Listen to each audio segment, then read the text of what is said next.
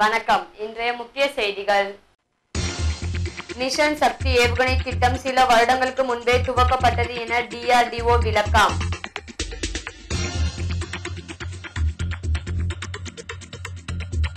கர்நாடகாவில் அமைச்சர் வீட்டில் வருமான வரித்துறையினர் அதிரடி சோதனை.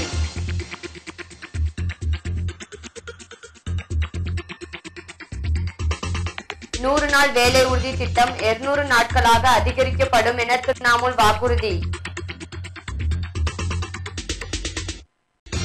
மகாராஷ்டிராவில் பெண் வாக்காளர்களை கவர புதிய முயற்சி.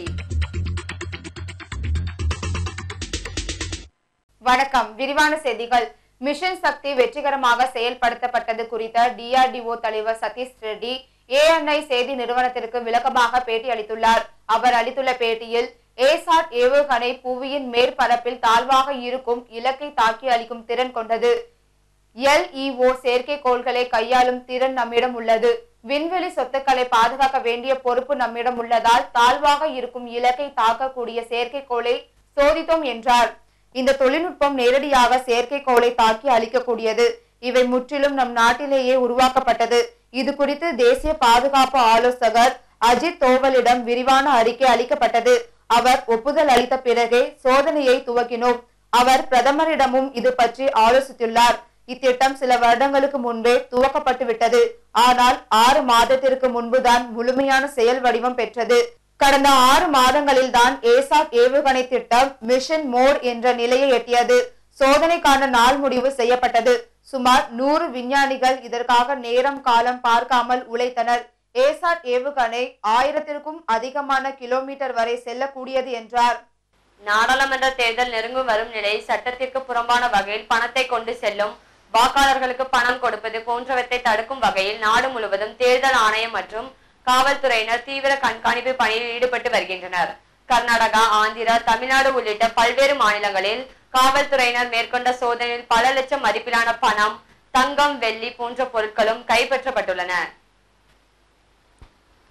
இந்நிலையில் கர்நாடகா மாநிலத்தில் நுண்ணீர் பாசனத்துறை அமைச்சரும் மதசார்பற்ற ஜனதா தளம் கட்சியின் முக்கிய தலைவருமான சி. எஸ். புட்டராஜுவின் வீட்டிற்கு இன்று காலை வருமான வரித்துறையினர் திடீரென சென்று சோதனையில் ஈடுபட்டனர்.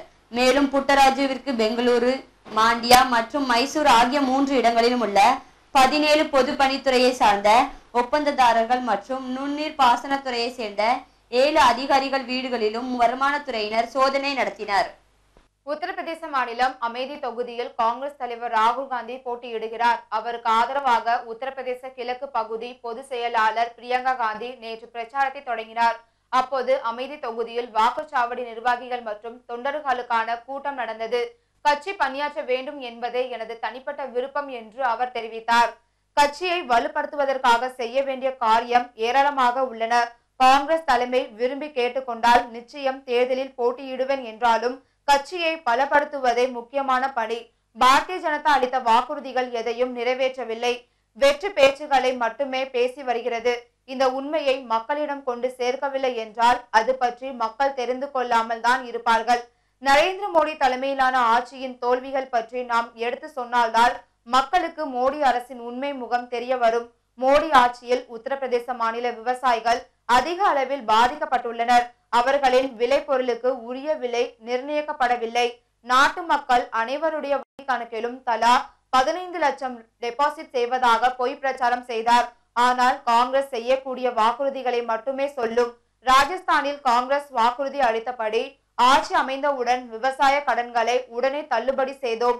ஏழை மக்கள் அனைவருக்கும் ஆண்டுதோறும் எழுபத்தி இரண்டாயிரம் ரூபாய் ஏழை மக்கள் அனைவருக்கும் ஆண்டுதோறும் எழுபத்தி இரண்டு ரூபாய் குறைந்தபட்ச வருமானமாக வழங்கப்படும் என்று இப்போது காங்கிரஸ் வாக்குறுதி அளித்துள்ளது.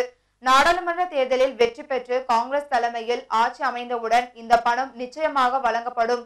பாரதிய ஜனதா சார்பில் இந்த தொகுதியில் போட்டியிடும் மத்திய அமைச்சர் ஸ்மிருதி இரானி சுற்றி பார்ப்பதற்காக மட்டும் இங்கு வருகிறார். அவர் இங்கு போட்டியிடுவதால் காங்கிரஸ் கட்சிக்கு எந்தவித பாதிப்பும் ஏற்படாது என்று பிரியங்கா காந்தி பேசினார். ராஜஸ்தான் மாநிலத்தை சேர்ந்த பத்திரிகையாளரான ராஜேந்திர திவ்யாஸ் என்பவர் நேற்று மத்திய டெல்லிக்கு உட்பட ஹுமாயூன் சாலையில் விபத்தில் சிக்கி இரத்த காயங்களுடன் துடித்துக் கொண்டிருப்பதை அவ்வழியாக காரில் சென்ற காங்கிரஸ் தலைவர் ராகுல் காந்தி கவனித்தார். உடனடியாக காரை நிறுத்துமாறி கூறி காயமடைந்த பத்திரிகையாளரை உள்ளே ஏற்றிக் கொண்டு விரைவாக மருத்துவமனைக்கு செல்லுமாறு ஓட்டுநரிடம் கூறினார். ராகுல் காந்தியின் கார் எய்ம்ஸ் மருத்துவமனைக்கு செல்லும் வழியில் வலியால் துடித்த பத்திரிகையாளரின் நெற்றியில் உள்ள காயத்திலிருந்து வழியில் இரத்தத்தை துடித்தவாறு அவர் ஆறுதல் கூறி ஆசுவாசப்படுத்தும் காட்சியை முன்சீட்டில் அமர்ந்திருந்த ராகுலின் உதவியாளர் சமூக வலைதளங்களில் வெளியிட்டுள்ளார். பரபரப்பான தேர்தல் பணிகளுக்கு இடையில் மனிதாபிமானத்தோடு செயல்பட்ட ராகுல் காந்தியின் உரிய நேரத்துக்கு உதவி சமூக வலைதளங்களில் பாராட்டு குவித்து வருகிறது. மேற்கு வங்காளம் மாநில முதலமைச்சரும் திரிணாமுல் காங்கிரஸ் தலைவருமான மம்தா பானர்ஜி நாடாளுமன்ற தேர்தலுக்கான தனது கட்சியின் தேர்தல் அறிக்கையை கொல்கத்தா நகரில் நேற்று வெளியிட்டார். இந்த தேர்தல் அறிக்கையில் வாக்காளர்களை ஈர்க்கும் வகையில் பல்வேறு கவர்ச்சிகரமான அம்சங்கள் இடம்பெற்றுள்ளன. எதிர்க்கட்சிகள் தலைமையிலான ஆட்சி மத்தியில் அமைந்தால் நூறு நாள் வேலை உறுதி திட்டம் இருநூறு நாட்களாக அதிகரிக்கப்படும். சம்பளமும் இரு மடங்காக உயர்த்தப்படும். பிரதமர் மோடியால் கொண்டுவரப்பட்ட பண மதிப்பிழப்பு நடவடிக்கையின் பின்னணி தொடர்பாக விசாரணை நடத்தப்படும். மோடி அரசால் ஒழிக்கப்பட்ட மத்திய திட்ட கமிஷனுக்கு புத்துயிர் அளிக்கப்படும். உபயோகமற்ற நிதி ஆயோக் ஒழிக்கப்படும். தற்போதைய ஜிஎஸ்டி வரி விதிப்பு முறை சீராய்வு செய்யப்படும். மக்களுக்கு பயனளிப்பதாக இருந்தால் தொடர்ந்து செயல்படுத்தப்படும் என்பன உள்ளிட்ட பல்வேறு அம்சங்கள் இந்த தேர்தல் அறிக்கையில் இடம்பெற்றுள்ளன. நாடாளுமன்ற தேர்தல் நெருங்கும் வேளையில் அனைத்து கட்சி தலைவர்களும் பொதுக்கூட்டங்கள் பிரச்சாரம் செய்தியாளர் சந்திப்பு என தீவிரமாக களப்பணியில் ஈடுபட்டு வருகின்றனர். மத்திய சாலை போக்குவரத்து மற்றும் நெடுஞ்சாலைகள் கப்பல் மற்றும் நீர்வள ஆதாரங்கள் மற்றும் கங்கை தூய்மைப்படுத்துதல் துறைகளின் அமைச்சரான நிதின் கட்கரி நாக்பூர் தொகுதியில் போட்டியிடுகிறார். நேற்று நாக்பூரில் நடைபெற்ற பிரச்சார கூட்டத்தில் கட்கரி கலந்து கொண்டு உரையாற்றினார். அவர் பேசியபோது நான் சாதி மதம் மொழி மற்றும் எந்த கட்சியினை சார்ந்தவர் என பாராமல் அனைத்து மக்களையும் சமமாக கருதி பணியாற்றி உள்ளேன். இதன் விளைவாக காங்கிரசின் ஆதரவாளர்களும் அலுவலங்களில் பணியாற்றும் பலர் எனக்கு போன் செய்து நீங்கள் கவலை கொள்ள வேண்டாம். நாங்கள் காங்கிரஸ் கட்சியிலிருந்து பணியாற்றலாம். ஆனால் எங்கள் இதயம் உங்களின் சேவை குறித்து சிந்தித்து கொண்டே இருக்கும் என கூறுகின்றனர். இதனால் எனக்கு எல்லா இடங்களிலும் ஆதரவு இருப்பது உறுதியாக தெரிகிறது. மேலும் பாஜகவினர் மக்களிடம் சென்று நம்பிக்கையுடனும் பணிவுடனும் வாக்குகளை சேகரிக்க வேண்டும் என கேட்டுக்கொள்கிறேன். நீங்கள் நம்பிக்கைக்கும் அத்துமீறிய செயல்களுக்கும் இடையே உள்ள வேற்றுமையை அறிய வேண்டும். மக்களிடையே கனிவான முறையில் நாம் ஆட்சியின் சாதனைகளை எடுத்துரைத்து வாக்குகளை பெற வேண்டுமே தவிர கடுமையான நடந்து கொள்ளக்கூடாது நான் மக்களிடம் சென்று பிற கட்சியினரிடம் பெயர்களை கூறி அவதூறு பேசிய வாக்கு சேகரிக்க விரும்பவில்லை. என்னால் என்னென்ன சாதனைகள் நிகழ்த்தப்பட்டுள்ளதோ கடந்த தேர்தலில் என்ன வாக்குறுதிகள் கொடுத்தோமோ அதனை நிறைவேற்றியுள்ளோம் நாங்கள் சொல்வதை தான் செய்வோம். மக்கள் திறமையானவர்கள். அவர்களுக்கும் எல்லாம் தெரியும். மக்களுக்கான பணிகளை செய்து அவர்களின் இதயங்களை வென்றுள்ளோம். இந்த முறையும் பாஜகவை வெற்றி பெறும் என்பது உறுதி என்று அவர் பேசினார். நாடாளுமன்ற தேர்தல் நெருங்கும் வேளையில் நாட்டின் அனைத்து கட்சியினரும் பிரச்சாரம் பொதுக்கூட்டங்கள் போன்றவற்றில் கலந்து கொண்டு உரையாற்றி வருகின்றனர். வாக்குப்பதிவை அதிகரிக்க தேர்தல் ஆணையம் தொடர்ந்து விழிப்புணர்வு ஏற்படுத்தி வருகிறது. மகாராஷ்டிராவில் ஏப்ரல் பதினொன்று பதினெட்டு இருபத்தி மூன்று மற்றும் இருபத்தி ஒன்பது ஆகிய தேதிகளில் நான்கு கட்டமாக தேர்தல் நடைபெற உள்ளது. இம்மாநிலத்தில் மொத்தம் எட்டு கோடியே எழுபத்தி மூன்று லட்சத்து இருபத்தி ஒன்பதாயிரத்து தொள்ளாயிரத்தி பத்து வாக்காளர்கள் உள்ளனர். இதில் ஆண் வாக்காளர்கள் நான்கு கோடியே ஐம்பத்தி ஏழு லட்சத்து ஆயிரத்தி எண்ணூற்றி எழுபத்தி ஏழு பேர் உள்ளனர். ஆண் வாக்காளர்கள் நிகராக ஆண் வாக்காளர்களுக்கு நிகராக பெண் வாக்காளர்கள் நான்கு கோடியே பதினாறு லட்சத்து இருபத்தி ஐந்தாயிரத்து தொள்ளாயிரத்தி ஐம்பது பேர் உள்ளனர். மேலும் இந்த ஆண்டு தேர்தலில் ஆயிரம் ஆண் வாக்காளர்களுக்கு தொள்ளாயிரத்தி பதினொன்று பெண் வாக்காளர்கள் என்ற அளவில் பெண் வாக்காளர்கள் எண்ணிக்கை உயர்ந்துள்ளது. இதையடுத்து அனைத்து பெண்களும் தவறாமல் ஓட்டு போட ஊக்கம் அளிக்கும் வகையில் மாநில தேர்தல் ஆணையம் சகி மத்தன் கேந்திராஸ் எனும் திட்டத்தின் கீழ் பெண்கள் மட்டுமே பணிபுரியும் வாக்குச்சாவடிகளை அமைக்க உள்ளது. நாற்பத்தி எட்டு தொகுதிகளிலும் தலா ஒரு மகளிர் வாக்குச்சாவடி அமைக்கப்படுகிறது. மேலும் இப்பகுதிகளுக்கு பலத்த பாதுகாப்பு வழங்கவும் ஏற்பாடுகள் செய்யப்பட்டுள்ளன. பெண் வாக்காளர்களை கவரும் வகையில் வாக்குச்சாவடிகளை சுத்தமாக வைத்திருந்து ரங்கோலி உள்ளிட்ட சில கலை வேலைப்பாடுகளால் அலங்கரிக்க உள்ளது குறிப்பிடத்தக்கது. விண்வெளியில் செயற்கைக்கோளை சுட்டு வீழ்த்தும் மிஷன் சக்தி சோதனையை இந்தியா வெற்றிகரமாக செயல்படுத்தியுள்ளது. விண்வெளியில் முன்னூறு கிலோமீட்டர் உயரத்தில் சுற்றி வந்த செயற்கைக்கோளை சுட்டு வீழ்த்தியது. இந்த சாதனையின் மூலம் அமெரிக்கா ரஷ்யா சீனா ஆகிய நாடுகளின் பட்டியலில் இந்தியாவும் இணைந்துள்ளது. இந்த தகவலை நேற்று பிரதமர் மோடி நாட்டு மக்களுக்கு தெரிவித்தார். இந்த நிலையில் மிஷன் சக்தி சோதனையை வெற்றிகரமாக இந்தியா நடத்தி முடித்தது. பற்றி அமெரிக்கா வெளியுறவுத்துறை செய்தி தொடர்பாளர் கூறியபோது செயற்கைக்கோள் எதிர்ப்பு ஏவுகணை சோதனை தொடர்பாக பிரதமர் மோடியின் அறிக்கை நாங்கள் பார்த்தோம். விண்வெளி பாதுகாப்பு ஆராய்ச்சியில் இந்தியாவுடனே தொழில்நுட்ப ஒத்துழைப்பு தொடரும். அதே சமயம் செயற்கைக்கோள்களால் விண்வெளியில் ஏற்படும் குப்பைகளை கவலை அளிப்பதாக உள்ளது. விண்வெளி குப்பைகளுக்கு தீர்வு காணும் வகையில் இந்த சோதனை வடிவமைக்கப்பட்டதாக கூறிய இந்தியாவின் அறிக்கைகளை கவனத்தில் கொண்டுள்ளோம் என்று அவர் பேசினார். தாழ்வான வளிமண்டலத்தில் இந்த சோதனை நடத்தப்பட்டிருப்பதால் விண்வெளியில் குப்பைகள் சேராது என்றும் உடைந்து சிதறிய செயற்கைக்கோள் குப்பைகளை சில வாரங்களில் பூமியில் வந்து விழும் என்று இந்திய வெளியுறவு அமைச்சகம் செய்தி வெளியிட்டிருந்தது குறிப்பிடத்தக்கது. சயான் மேம்பாலத்தில் கட்டுமான பொருட்கள் ஏற்றி சென்ற லாரி கவிழ்ந்து விபத்து.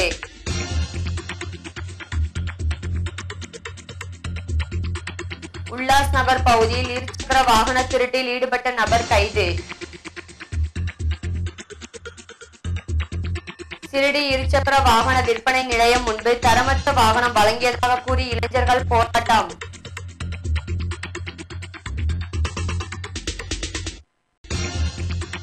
பீகாரில் பாரதிய ஜனதா தலைவர் வீட்டில் மாவோயிஸ்டுகள் வெடிகுண்டு தாக்குதல். மராத்தியத்தில் பெஸ்ட் மின் கட்டணம் மூன்று சதவீதம் குறைக்கப்படுகிறது. அதே நேரத்தில் மற்ற நிறுவனங்கள் மின் கட்டணத்தை உயர்த்துகிறது. மராட்டியத்தில் உள்ள இரண்டரை கோடி வீடுகள் குடியிருப்பு கட்டிடங்கள் வணிக வளாகங்கள் மற்றும் தொழிற்சாலைகளுக்கு பதினெட்டாயிரம் முதல் பத்தொன்பதாயிரம் மெகாவாட் வரை தினமும் மின்சாரம் விநியோகம் செய்யப்பட்டு வருகிறது. கோடை காலத்தில் இந்த அளவு இருபத்தி நான்காயிரம் மெகாவாட் மின்சாரமாக உயரும். எனவே மாநில மின் நிறுவனங்கள் வழக்கத்தை விட அதிகமாக மின் கொள்முதல் செய்ய வேண்டும். இந்த நிலையில் மராட்டிய மாநில மின் கட்டண ஒழுங்குமுறை ஆணையம் மின் நிறுவனங்களுக்கான புதிய கட்டணத்தை நிர்ணயம் செய்துள்ளது. இந்த கட்டண மாற்றல் ஏப்ரல் ஒன்றாம் தேதி முதல் அமலுக்கு வருகிறது. இந்த புதிய கட்டணத்தின்படி மும்பையில் உள்ள பெஸ்ட் நிறுவன மின் கட்டணம் மூன்று சதவீதம் வரை குறையும். இதனால் மும்பையில் உள்ள பத்தரை லட்சம் பெஸ்ட் நிறுவன வாடிக்கையாளர்கள் பலன் பெறுவார்கள். ஆனால் மாநில மின் பகிர்வு நிறுவனத்தின் கட்டணம் ஆறு சதவீதமும் டாடா நிறுவன கட்டணம் இரண்டு சதவீதமும் அதானி நிறுவன கட்டணம் ஒன்று சதவீதமும் உயர்த்தப்பட்டுள்ளது. இது குறித்து வாஷியை சேர்ந்த ஸ்ரீதர் கூறும்போது மும்பையில் கட்டணம் குறைக்கப்பட்டு புறநகரில் வசிக்கும் மாநில மின் பகிர்வு நிறுவன வாடிக்கையாளர்களுக்கு கட்டணம் அதிகரிக்கப்பட்டுள்ளது அதிர்ச்சி அளிக்கிறது என்றார்.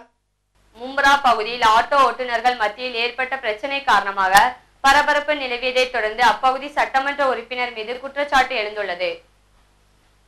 மும்ரா பகுதியில் போக்குவரத்து ஒழுங்கு நடவடிக்கை என்ற பெயரில் காவல்துறையினர் நடத்தி வரும் நடவடிக்கை மூலம் ஆட்டோ ஓட்டுநர்கள் மத்தியில் சலசலப்பு ஏற்பட்டது.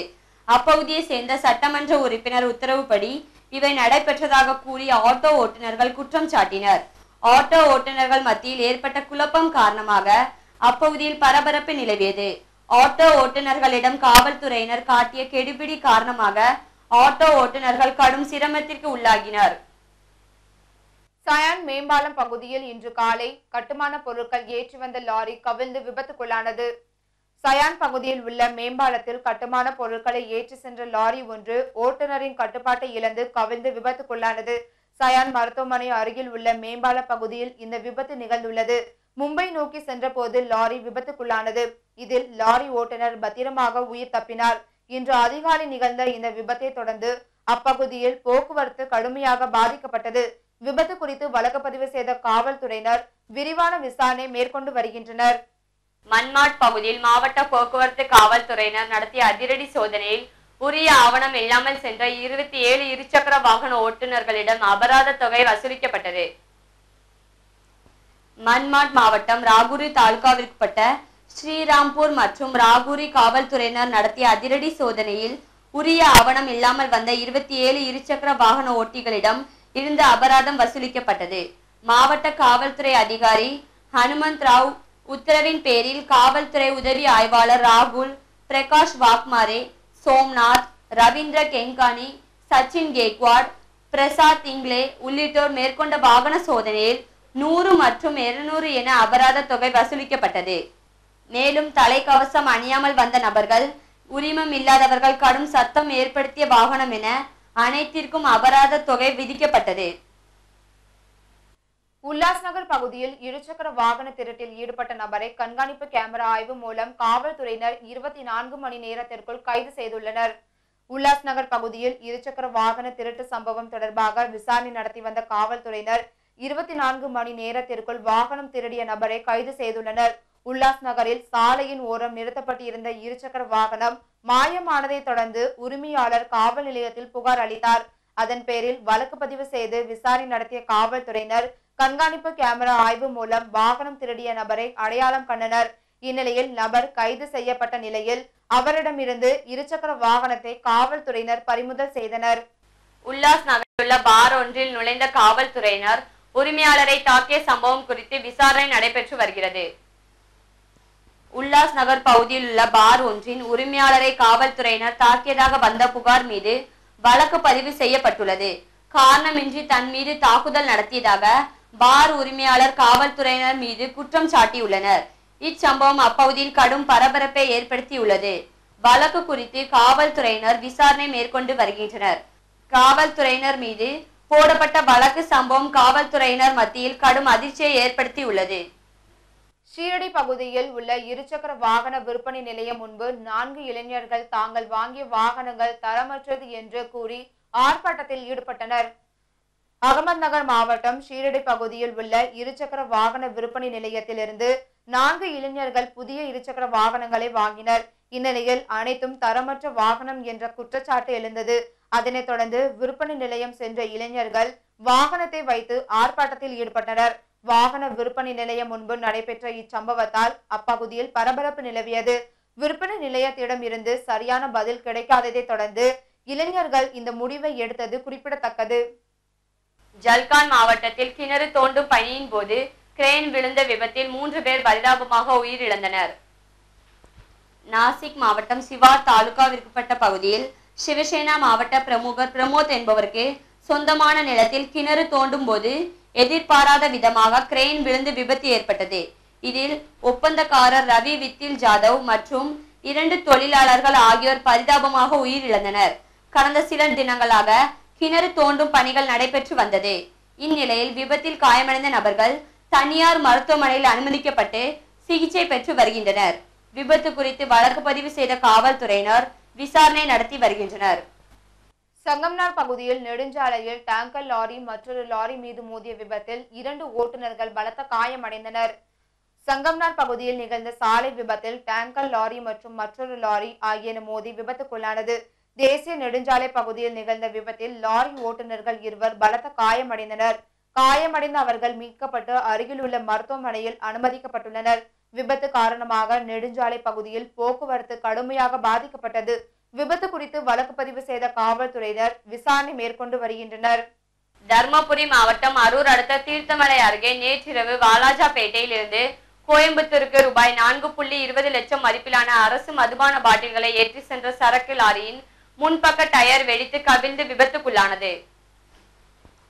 விபத்தில் ஓட்டுநர் லேசான காயங்களுடன் உயிர் தப்பினார். இது குறித்து கோட்டப்பட்டி காவல்துறையினர் வழக்கு பதிவு செய்து விசாரணை மேற்கொண்டு வருகின்றனர். பீகார் மாநிலம் மகாத் பகுதியில் நாடாளுமன்ற தேர்தலை புறக்கணிக்க வேண்டும் என்று மாவோயிஸ்ட் தீவிரவாதிகள் அழைப்பு விடுத்துள்ளனர். இந்நிலையில் கயாவில் பாரதிய ஜனதா தலைவர் அனுஜ் குமார் வீட்டில் தாக்குதல் நடத்தியுள்ளனர். சுமார் இருபது முதல் முப்பது நக்சலைட்டுகள் ஆயுதங்களுடன் வந்து அவரது வீட்டில் வெடிகுண்டை வீசியுள்ளனர். இதனால் வீடு சேதமடைந்துள்ளது. சம்பவம் நடைபெற்ற போது அங்கு யாரும் இல்லாததால் உயிரிழப்பு எதுவும் நேரிடவில்லை. கிராமப்புற மக்களை தேர்தலை புறக்கணிக்க வேண்டும் என்று வலியுறுத்தியுள்ள மாவோயிஸ்டுகள் மீறினால் விளைவுகளை எதிர்கொள்ள வேண்டியது இருக்கும் என மிரட்டியுள்ளனர். இதனை அடுத்து அப்பகுதியில் பாதுகாப்பு அதிகரிக்கப்பட்டு விசாரணை நடைபெற்று வருகிறது. வங்கதேசத்தில் பேருந்துகள் மோதியதில் எட்டு பேர் உயிரிழப்பு.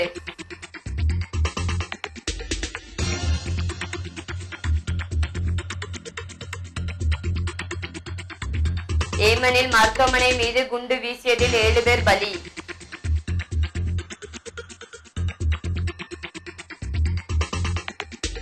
கென்யா பேருந்து விபத்தில் பதினான்கு பேர் பலி.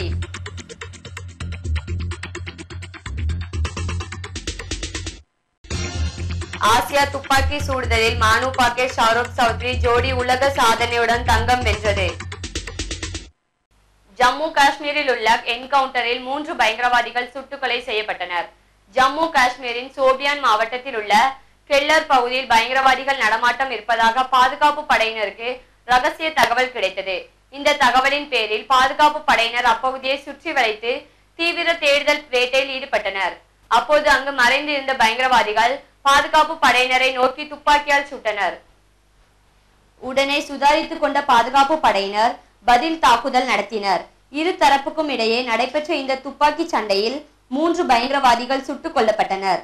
அப்பகுதியில் வேறு சில பயங்கரவாதிகள் பதுங்கி இருக்கலாம் என நம்பப்படுவதால் தீவிர தேடுதல் வேட்டை நடைபெற்று வருகிறது. வங்கதேசத்தில் சாட்டோகிராம் காக்ஸ் பஜார் நெடுஞ்சாலையில் இன்று அதிகாலை பயணிகளை ஏற்றிக்கொண்டு ஒரு மினி பேருந்து சென்று கொண்டிருந்தது. லோகாகாரா உபாசிலா என்ற இடத்தில் சென்றபோது மினி பேருந்து மீது எதிரே வந்த மற்றொரு பேருந்து பயங்கரமாக மோதியது.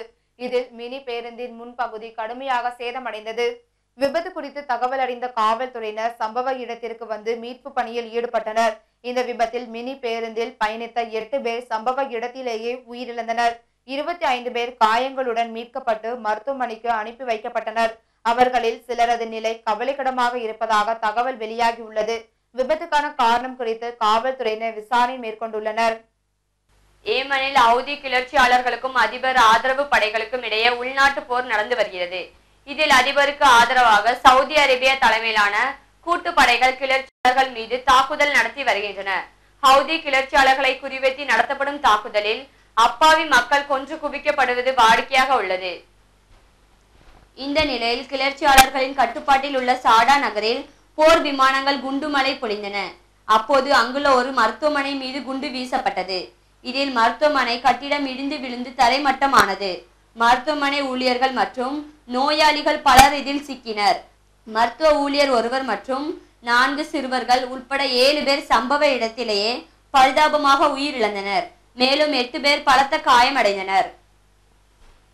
கென்யா நாட்டில் இன்று அதிகாலை ஏற்பட்ட பேருந்து விபத்தில் குழந்தை பெண்கள் உள்பட பதினான்கு பேர் உடல் நசுங்கி பரிதாபமாக பலியாகினர். கென்யா நாட்டின் வடபகுதியில் அமைந்துள்ள மண்டேரா பகுதியில் இருந்து நைரோபி நோக்கி பேருந்து ஒன்று சென்று கொண்டிருந்தது. இன்று அதிகாலை ஐந்து மணி அளவில் மசாகோஸ் பகுதியில் வந்தபோது லாரி மீது வேகமாக மோதியது. இந்த விபத்தில் பதினொன்று ஆண்கள் இரண்டு பெண்கள் ஒரு குழந்தை உட்பட பதினான்கு பேர் உடல் நசுகி பரிதாபமாக பலியாகினர். மேலும் படுகாயமடைந்தனர். தகவல் அறிந்து காவல்துறையினர் அங்கு விரைந்து சென்று மீட்பு பணிகளில் ஈடுபட்டனர். காயமடைந்தவர்களை மீட்டு அருகில் உள்ள மருத்துவமனையில் சேர்த்து சிகிச்சை அளித்து வருகின்றனர். தென் ஆப்பிரிக்காவில் சிறுத்தையின் பிடியில் சிக்கிய கீரிக்குட்டி ஒன்று நொடி பொழுதில் உயிர் தப்பிய வீடியோ வெளியாகி உள்ளது. சபி சாண்ட் என்ற இடத்தில் சில கீரிக்குட்டிகள் விளையாடிக் கொண்டிருந்தன. அப்போது அவைகளை வேட்டையாடுவதற்கு சிறுத்தை ஒன்று அருகாமையில் பதுங்கியிருந்தது.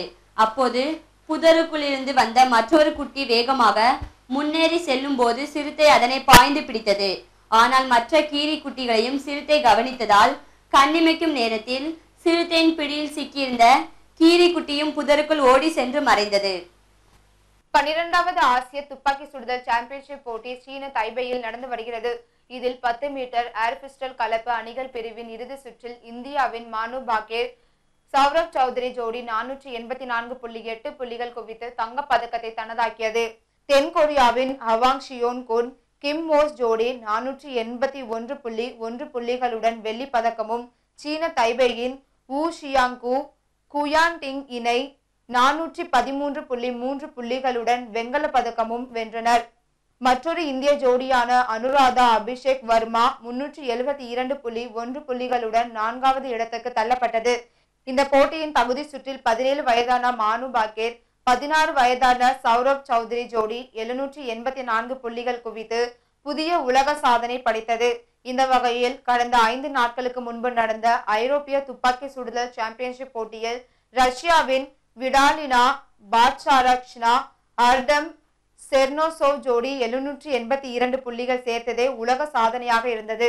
கோடை வெப்பம் காரணமாக மும்பை ஹைதராபாத் உள்ளிட்ட நகரங்களில் இயல்பு வாழ்க்கை கடுமையான பாதிப்புக்கு ஆளாகி உள்ளது ஹைதராபாத்தில் வெயில் தற்போது முப்பத்தி ஒன்பது டிகிரி செல்சியஸாக இருப்பதாகவும் அடுத்த ஓரிரு நாட்களில் நாற்பது டிகிரி செல்சியஸாக அதிகரிக்க உள்ளதாகவும் வானிலை ஆய்வு மையம் தெரிவித்துள்ளது. சுட்டெரிக்கும் வெயில் காரணமாக தெலுங்கானாவில் மேக்பூக் நகர் மேட்டக் நிஜாம்பாத் போன்ற இடங்களில் மக்கள் கடும் அவதிக்கு ஆளாகி இருக்கின்றனர். பழச்சாறு இளநீர் போன்றவற்றை அதிகமானோர் பருகுவதால் அவற்றின் விலையும் கணிசமாக உயர்ந்துள்ளது.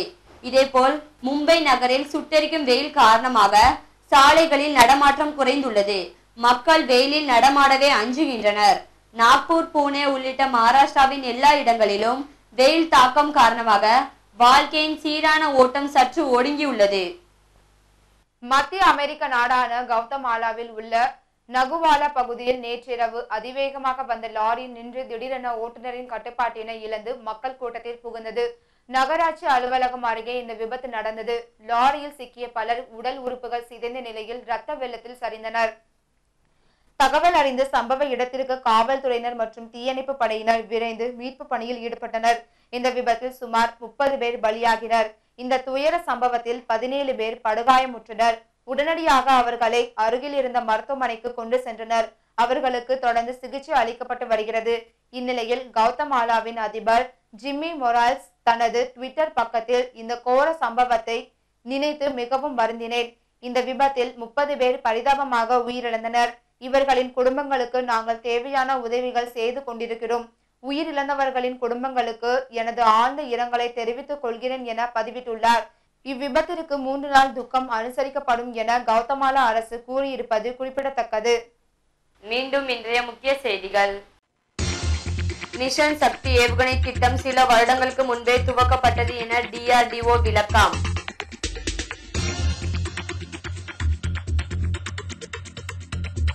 கர்நாடகாவில் அமைச்சர் வீட்டில் வருமான வரித்துறையினர் அதிரடி சோதனை.